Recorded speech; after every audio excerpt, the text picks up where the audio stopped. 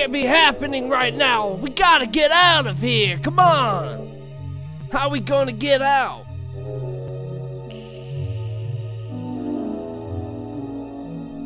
It's you two. You have to get us out of here. No can do, Mario. Please, I beg you. I gotta save Princess Peach, and this boulder blocked the way out. Come on, let us out. Sorry, we can't let you out. Besides, King Koopa will kill us if we find out we did.